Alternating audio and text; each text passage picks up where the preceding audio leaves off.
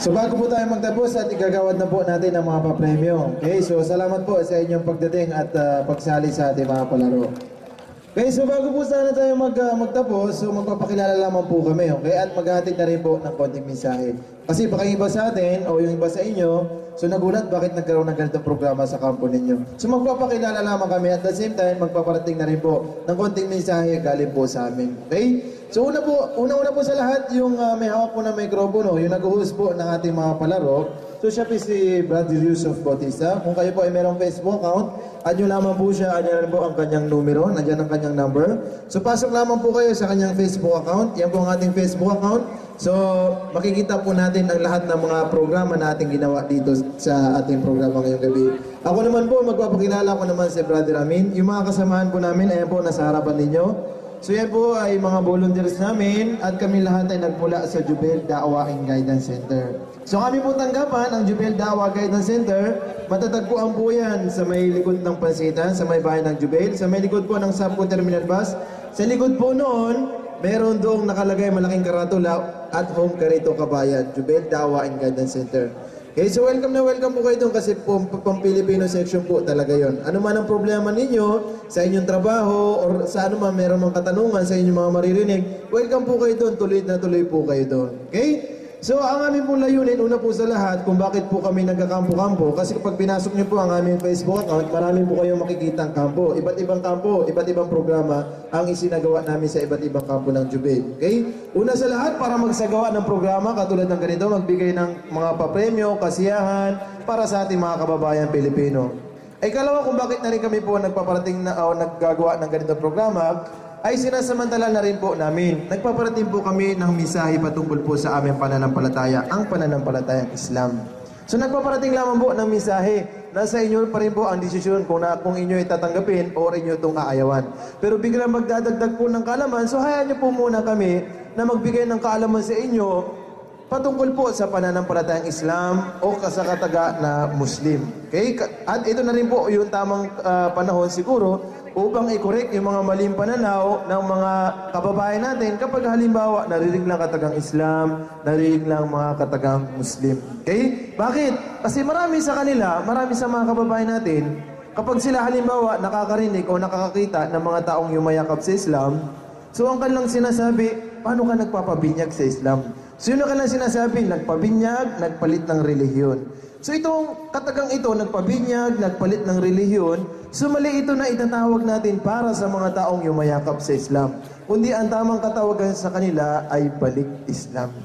So bakit tinatawag na balik Islam? So yan po ang aking mensahe sa munting uh, oras na ito. So pahintulutan nyo lamang po ako. Alhamdulillah, ashhadu an la ilaha illallah wa ashhadu anna Muhammad Rasulullah. Ako po ay sumasaksi walang ibang Diyos na dapat samayin maliban kay Allah at si Muhammad ang huling sugo at propeta ni Allah. So bakit tinatawag na balik Islam?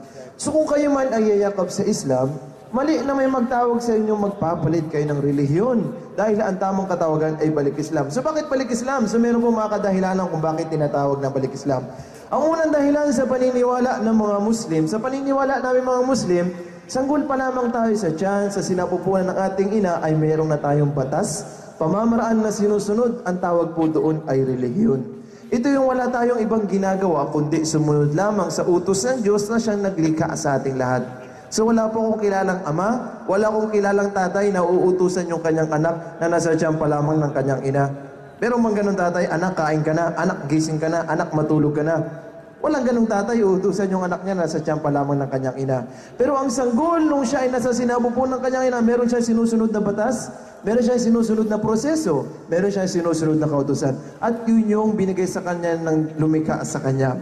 So mapapansin natin, ang sanggol, nung siya ay nasa sinabo po ng kanyang ina, ang kanyang itsura nakasubo ang kanyang daliri sa kanyang bibig.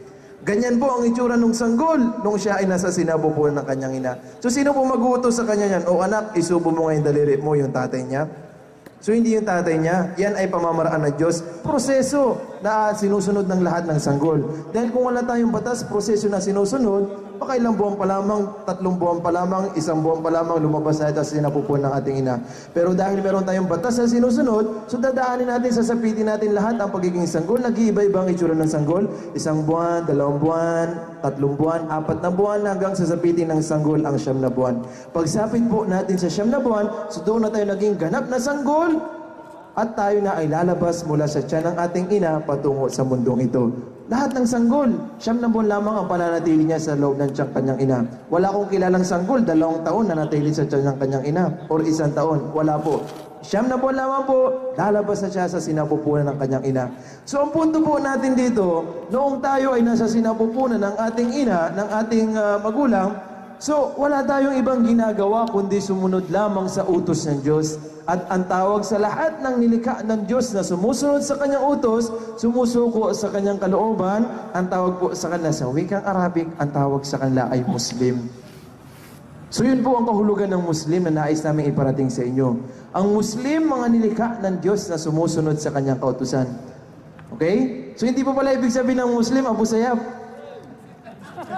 Hindi mo pala ibig sabihin ng Muslim, terorista. Hindi mo pala ibig sabihin ng Muslim, yung mga maraming mag-asawa.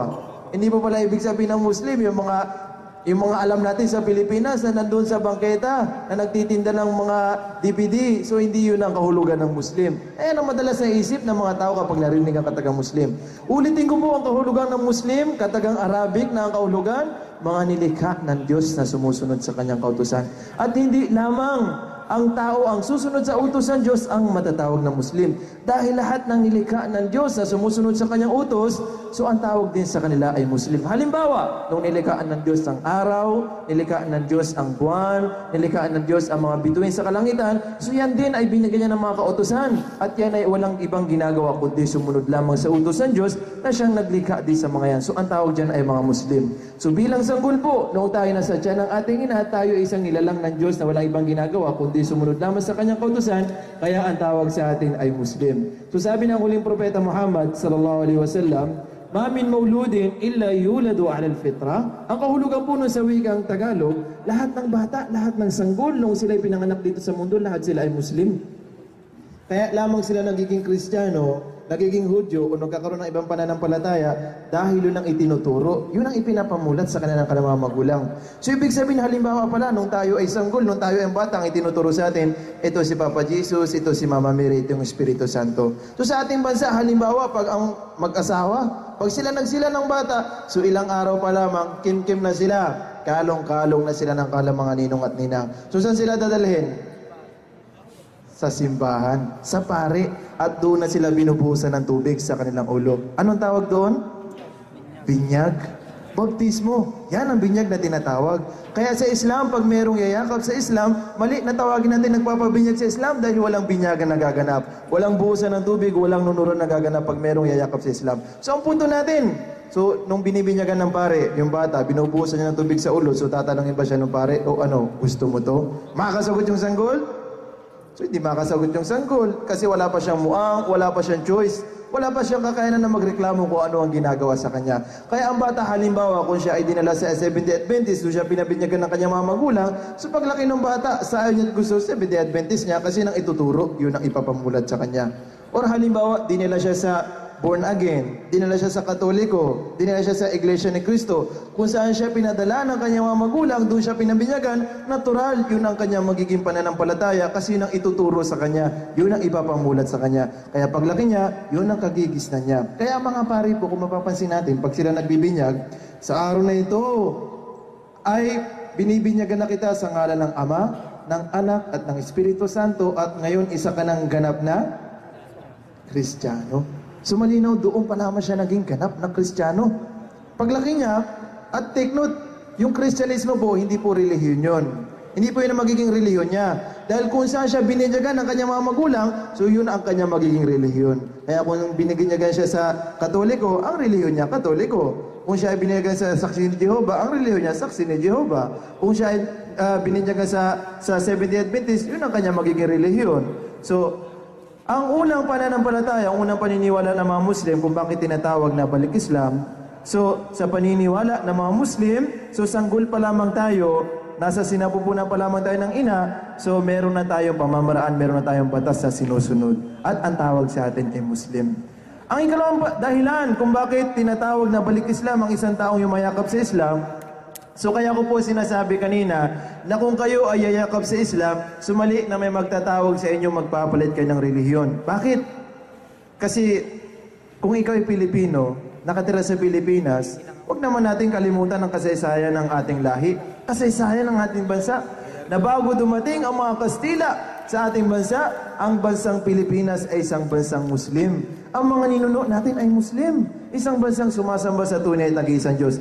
So kasaysayan po ang magsasabi, 1380 pa lamang, dumating na ang Islam sa ating bansa. Taong 1380, merong isang missionaryong Arabo. Ang kanyang pangalan si Sharif Makdum. So siya ay dumaong sa parte ng Mindanao, pinalaganap niya ang Islam, at ito'y tinanggap ng ating mga katutubo ng walang kahit anong kaguluhan. Kapayapaan ang dating sa kanilang Islam. So bilang patunay po, ang kauna-unahang bahay-sambahan na naitayo, na itatag sa ating bansa, hindi po simbahan ng Katoliko, hindi po church, bahay-sambahan ng mga Muslim. Ito po ang Sharif Makdum Mosque. Matatagpuan po natin sa Tubig Inda ng Simonon, Tawi-Tawi. So paglipas ng maraming panahon, 1450, 1470, napakaraming dato ang dumating sa ating bansa. Kabilang na po doon yung sampung dato. Sila ay dumaong sa lalawigan ng Panay. Ngayon ay ito ay kilala sa Sanukin, Iloilo. So sila ay nakabili ng maliit na lupa mula sa pinuno ng mga itas si Marikudo. Pinalaghanap ng Islam hanggang sa naitatag nila ang buong Islamikong pamayanan sa buong Kabisayaan. So yung sampung dato po, kilala natin sila actually. Dahil nung tayo ay nag-aaral sa elementary, yung mga libro natin, elementary high school, nandun sila nakasulat. Kung matatandaan nyo po, ito po sila, Dato Paduhinog, Dato Paiburong, Dato Lubay, Dato Sumakwil, Dato Sikatuna, Dato Dumalugdog, Dato Bangkaya, Dato Dumagsil, Dato Dumagsul, si Dato Puti. Saan na lang natatandaan? Sa libro, sa suka. Suka na lang natatandaan, tuwing paksiw na lang natatandaan si Dato Puti. Wala tayong kamalay-malay yung nakilala natin dato sa suka. Siya pala yung pinakamataas na antas sa mga dato kasi siya yung piyasa sa paglalakbay sa karagatan. So di nagtagal, matapos may tatag ng sampung dato, ang Islamikong pamayanan sa Kabisayaan, yung tatlong dato, Dato Puti, Dato Balinsula, ngayon ay Balinsuela, at Dato Dumagsil, sila ay naglakbay papuntang norte, at sila ay dumawang sa lalawigan ng Nasugbo, Batangas. So hindi ko na po mapapabahin ang kasaysayan ng Islam sa ating bansa, dahil kung kukunin natin year by year, baka abutin tayo ng ating gabi sa dami na nangyari sa ating bansa. So pag-uusapan po natin ang pagdating ng Kristyanismo, Christianity sa ating bansa, ang pagdating ng mga Kastila sa ating bansa. So sa inyo pong palagay, kailan dumating ang pananampalatayang Kristyanismo sa ating bansa? Kanina po meron tumutugtog na kanta. Kilala niyo po si Yoyoy Villame? Meron siyang kantang ano yung Philippine History. Ano daw ayon sa kanyang kasi ayon sa kanyang kanta kailan daw dumating? March 16, 15, 21 lamang dumating ang pananampalatayang Kristyanismo sa ating bansa. So malinaw pala sa ating pagbabalik tanaw, mas nauna ang Islam. Islam 13th century at ang Kristyanismo noong 15th century lamang at ito'y daladala ng mga Kastila. So sino yung unang pangkat ng Kastila? Dumating sa ating bansa. Sino? Ferdinand Magellan. Si Magellan dumating sa ating bansa sa Cebu, sa Mactan Cebu. Ang Mactan Cebu ay sa pamuno nino. Dato Lapu-Lapu. So kasaysayan din ang magsasabi na bago dumating ang puwersa ni Miguel Lopez de Legazpi sa Maynila, June 3, 1571, ang Maynila ay sa pamumuno nino. Raha Suleiman. Ang Tondo Maynila sa pamumuno nino. Raha Lakandula. Ang Pangasinan sa pamumuno ng mga ninunod natin, ito ang mayroong pinakamalawak na komunidad ng mga Muslim, pinamumunuan ng Muslim, Prinsesa of Duha. Narinig niyo na ba yung mga pangalan na yan? Raha Suleiman, Raha Lakandura, Raha Humabon, Prinsesa Urduha. Yan po ang mga pangalan ng mga ninunod natin na nadatna ng mga Kastila nung sila ay dumating sa ating bansa. Kaya lamang pagdating ng mga Kastila sa ating bansa, kanilang kasama sa kanilang pagdating ang, ang krus matutuloy sa espada, baril, kanyon, ang mga ninunod natin, bulos, sibat, panak, kris. Kaya hindi kinaya ng puwersa ng mga ninunod natin, ang puwersa, ang dami ng puwersa ng mga Kastila. Kaya ang ilan sa mga ninunod natin, napilitan silang umurong papuntang mga probinsya, kaya meron tayong probinsya tinatawag ng Murong Rizal. Sumuli silang bumangon ulit upang harapin ulit ang mabigat na puwersa ng mga Kastila. Tinawag naman itong Binangunan Rizal. Yan ang kapakas ng kasaysayan ng ating bansa. Ang ilan sa mga ninunod natin nakipaglaban sa mga Kastila, So na, na, sila ay nabawian ng buhay, sila ay namatay sa pakikipaglaban, kabilang sina Ra Suleiman, Rahala Kandula, namatay sila sa Bangko Setundo. So napilitan pa rin silang umurong papuntang, papuntang Mindanao at doon sila naipadpad. Kaya nakagisnan nga natin mga Muslim sa Mindanao eh. So, ang mga Kastila, dahil sa kanilang paningin, ang mga ninunod nating Muslim ay lason sa kanilang paningin, bakit? Kasi nahihirapan silang gawing Kristiyano ang mga Pilipino dahil lumalaban yung mga ninunod natin Muslim. Kaya ang ginawa nila, sinundan at sinundan nila ang mga ninunod natin sa Mindanao. So ang mga ninunod natin sa Mindanao sa hinat ng kanilang puwersa, so imbis na maghiwa-hiwalay sila, imbis na tumakas sila, so ang ginawa nila upang depensahan ang kanilang kayamanan, upang depensahan ang kanilang mga sarili, upang depensahan ang Mindanao, so nagsama-sama ang lahat ng tribo ng mga Muslim, Tausug, Maranao, Maguindanon, Iranon, Samal, Yakan at iba pang tribo ng mga Muslim. So buong tapang nilang hinarap ang mga puwersa ng mga Kastila hanggang sa huling patak ng kanilang dugo. So nanalo ang mga ninunod natin. Kaya po sa kasaysayan ng ating bansa, ang Mindanao ay hindi kasamang nasakop ng mga Kastila. So mga Kastila, ang umurong pamuntang norte, papuntang Mindanao, at doon naman nila pinalasap. Ang pait ng kabiguan nila sa Mindanao, so hinawakan nila ang krus. Ang sino man ang hindi yumakap sa pananampalatang Kristyanismo, putol ang leeg nila. Bata't matanda, o ganyan po ang katotohanan kung paano tayo sinakop ng mga Kastila. Hindi po panunuyo ang ginamit ng mga Kastila upang gawing Kristiyano ang mga Pilipino.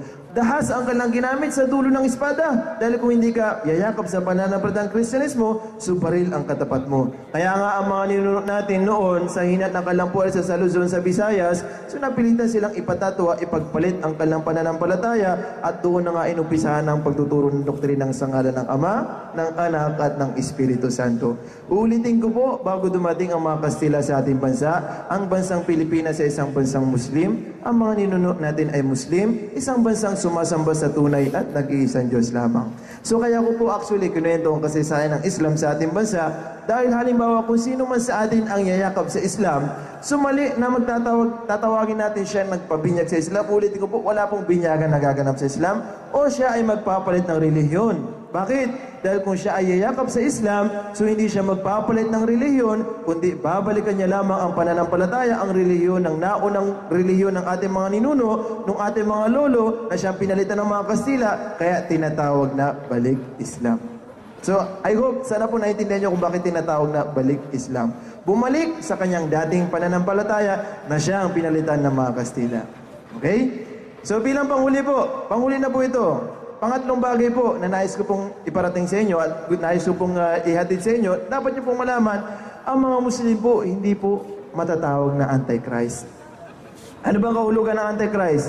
Kontra, laban, hindi naniniwala kay Yesu Kristo. Yan po ang kahulugan ng Antichrist. Tama po ba? So alam niyo po mga mahalaming kababayan, Walang Muslim na matatawag na Muslim. So ibig sabihin, hindi magiging ganap na Muslim ang isang tao na Muslim hanggat hindi niya kilalanin, mahalin, dakilain, galangin si Yesu Kristo bilang isang dakilang mensahero ng Diyos. Yan po ang paniniwala ng lahat ng mga Muslim. Tanungin niyo po lahat ng Muslim sa inyong paligid, ano ang paniniwala ninyo kay Yesu Kristo? Ang Muslim sa China, ang Muslim sa Europa, ang Muslim sa Amerika, ang Muslim sa Pilipinas, Tanungin nyo, wala pong magkakaiba-iba ng sagot. Para sa amin, si Heso Kristo bilang isang dakilang mensahero ng Diyos. Bilang patunay po, si Heso Kristo sa kanyang pangalan na banggit sa Quran. Biruin yun, hindi kami Kristiyano at hindi Biblia ang hawak namin. Pero si Yesu Kristo sa kanyang pangalan na banggit nandoon sa Quran. At alam din namin ang mga milagrong ginawa ni Yesu Kristo at ang milagrong kanyang kapanganakan. Ganito yung pinakilala ng Diyos Nagpakilala siya sa pangalang Allah. Ganito niya pinakilala si Yesu Kristo sa Quran. Ang kanyang sinabi, Inna mathala Isa inda Allahi ka mathali Adam, khalaqahu min turab thumma qala lahu kun fayakun. Kahulugan po sa wikang Tagalog, dahil yun pang original na testamento ng Quran, Arabic, ang kahulugan po nun, katotohanan ng kahalintulad ni Yesu Kristo sa Diyos ay kahalintulad ni Adan. Saan daw hinalintulad? Kay Adan sa kanyang milagrong pagkakalika. Bakit? Dahil milagro din ang pagkakalika kay Adan. So hindi lamang pala si Yesu Kristo ang milagro sa pagkakalika. Paano ba nilika si Adan? Khalaqahu min turab. Si Adan nilika ng Diyos mula sa alabok.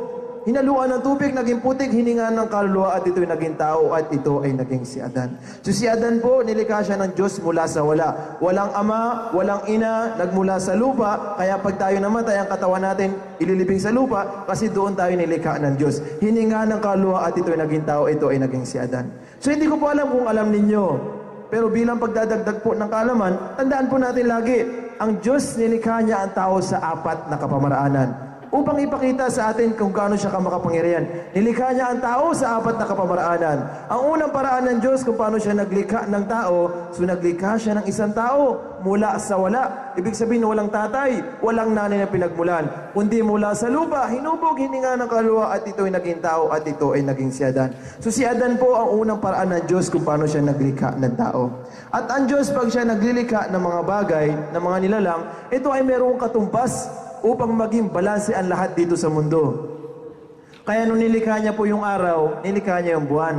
Nung naglikha siya ng gabi, naglikha siya ng umaga. Kaya nung nilikha niya ang lalaki, ano pong kabaligtaran ng lalaki? Babae. At ito ay si Eva. Tama po? At milagro din ang pagkakalika kay Eva.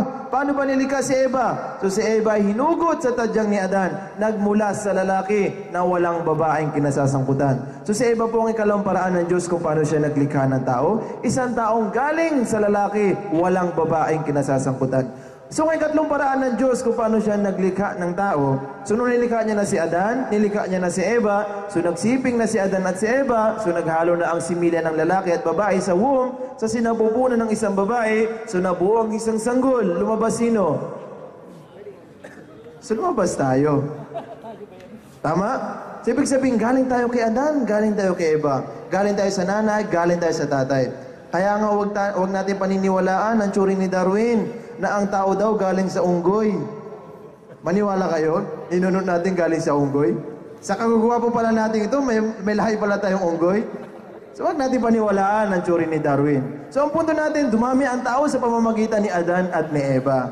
At ang punto natin, so tayo ang 100% kabaliktaran ni Adan sa kapanganakan. Bakit? Dahil si Adan nilikha siya ng Diyos, walang ama, walang ina. Tayo merong ama, merong ina. Ngayon si Eva kailangan magkaroon din ng katumbas sa kanyang kapanganakan. Si Eva nanggaling sa lalaki, walang babaeng kinasasangkutan. Sa inyo pong pagkakalam, sino po yung alam ninyo na nanggaling sa babae, wala namang lalaking kinasasangkutan? Mabilis po ang sagot. Si Yesu Kristo. Kristiyano Muslim parehas naniniwala sa milagrong kapanganakan ni Heso Kristo. Siya ay pinagdalang tao, ipinagbuntis ni Birhen Maria na walang lalaking humipo, walang lalaking sumiping sa kanya. Kaya ang address natin sa kanya ay Birhen Maria. Ibig sabihin, virgin. Walang humipo, walang sumiping upang mabuo sa kanya sinapupunan si Yesu Kristo. Si Yesu Kristo ay mulang isang salita mula sa Diyos na buo sa sinapupunan ni Birhen Maria at nabuo si Yesu Kristo. So si Yesu Kristo po ang ikaapat na paraan ng Diyos kung paano siya naglikha ng tao at siya ang kabaliktaran ni Eva.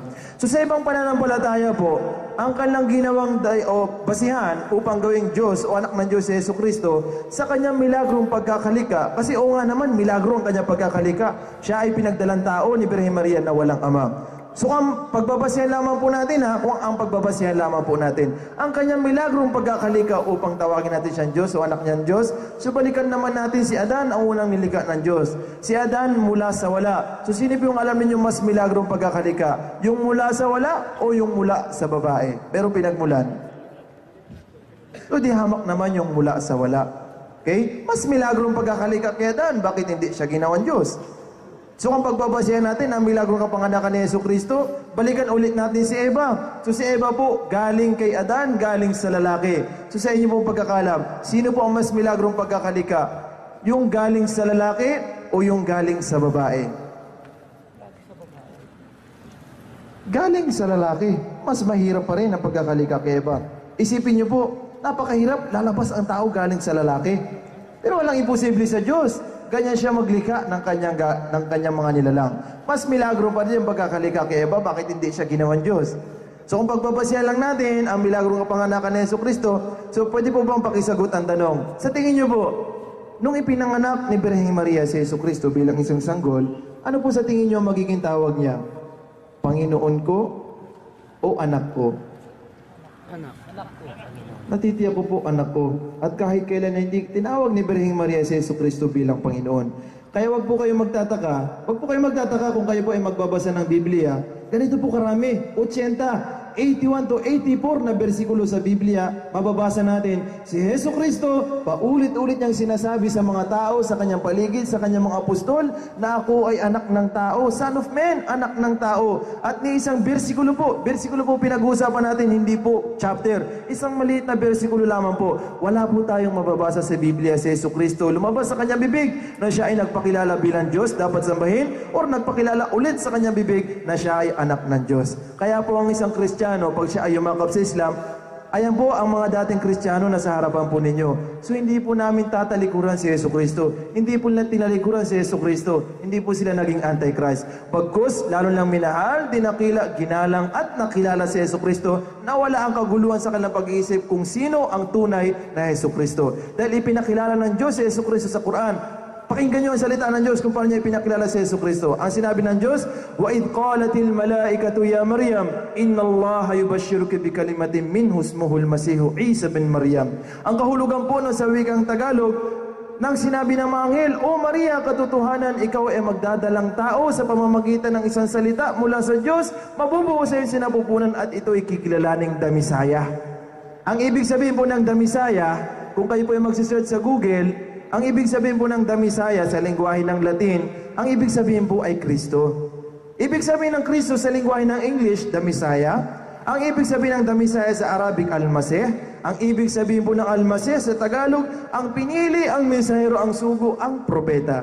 Kaya malinaw, pwede natin tawagin si Abraham ay Kristo, si Noah ay Kristo, si Moses ay Kristo, lahat ng propeta ay Kristo dahil ang kahulugan ng Kristo ay propeta. Kaya pag tinatawag natin Heso Kristo, So, para na rin natin sinasabing Jesus, propeta ng Diyos. Siya ay kikilalaning damisaya, ang pangalan ni Jesus, anak ni Maria, kikilalanin dito sa mundo hanggang sa araw ng paghukom. Wa yukalliman nasa fil mahdi wa kahla wa minasalihin. At si Jesu Kristo ay magsasalita mula sa kanyang pagiging sanggol hanggang sa kanyang paglaki. So isa ulit milagro mula sa Diyos. Paano magsasalita ang sanggol sa kanyang pagiging sanggol? Isang milagro ulit mula sa Diyos. Bakit magsasalita? So hindi ko po alam kung paano nyo tatanggapin, kung paano nyo lululukin ang paratang ng mga Hudyo sa kanyang ina na, si Birhen Maria at kay Heso Kristo. Alam nyo ba na para sa mga Hudyo, si Heso Kristo ang pinakamasamang nilalang ng Diyos? Isang bastardong anak, anak sa labas. Si Birhen Maria, isang pinakamaruming babae. Bakit?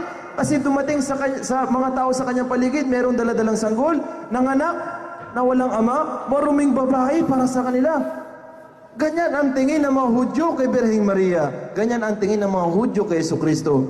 Ang mga Hudyo ang gusto magpapako kay Jesus sa krus. So ganyan sila kagalit kay Yesu Kristo. Kaya ang mga Hudyo walang natutuwa. Walang Hudyong natutuwa kay Yesu Kristo sa kanyang ina at si Birheng Maria. Samantalang sa Islam, so hindi ka magiging Muslim hanggat hindi mo galangin si Yesu Kristo. Hindi ka magiging Muslim hanggat hindi mo galangin si Birheng Maria. Bilang patunay, mayroon sa Quran, isang chapter na ang pangalan ay Surah Maryam. Ibig sabihin, chapter, Mary ipinangalan sa ina ni Heso Kristo bilang pagpapahalaga sa ina ni Heso Kristo na si Birheng Maria.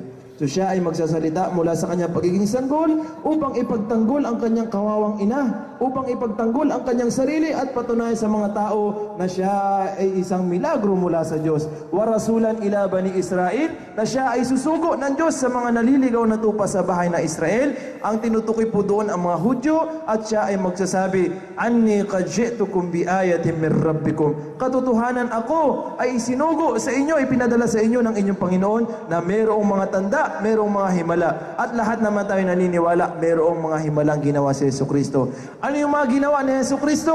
So nandyan yung bumuhay siya ng patay. Nandyan yung nagpagaling siya ng bulag, nagpagaling ng kitongin, nagpagaling ng babaeng dinudugo, nagpakain ng maraming tao sa isang maliit na tinapay at maliit na isda. So lahat yan ay milagro kay Yesu Kristo. Pero si Yesu Kristo ay nagpahayag at nagsabi, ito ay hindi saganang sa akin, kundi sa pahintulutan ng Diyos na siyang nagsugo sa akin. Inamin na Yesu Kristo, wala siyang kapangyarihan patungkol sa mga himala na yan. Inna fi dhalika laayatan lakum in kuntum mu'minin. Katotohanan sa mga yan ay mayroong palatandaan sa inyo ang inyong Panginoon kung kayo ay naniniwala sa Kanya at sa akin bilang isang mensahero ng Diyos. So yan ang pagpapakilala ng Diyos sa mga Muslim. Kaya hindi po kami nalilito kung sino po si Yesu Kristo. Dahil ang Quran napakalinaw na kanyang sinabi, ipinakilala ng Diyos kung sino si Yesu Kristo bilang isang dakilang mensahero, bilang isang dakilang propeta. Kaya nga walang Muslim na tatawagin Muslim hanggat hindi niya mahalin ang dakilang propetang ito na si Yesu Kristo. So I think napahaba na po ang aking oras. So inshallah sa inyo pong pagsasaliksik ng kalaman, huwag niyo po sanang kalimutan ng Islam. Katulad po ng sinabi natin, hindi naman bago sa atin ng Islam. Ang katotohanan ng Islam, siya ang relihiyon sa ating bansa na siyang pinalitan ng mga ninunod natin. Okay? So I hope nag-enjoy po kayo ngayong gabi. Maraming maraming salamat po sa inyong pagsali at pagdating po ngayong gabi dito. So aming pagbati sa inyo, magandang magandang gabi po sa inyo lahat. Assalamualaikum warahmatullahi wabarakatuh.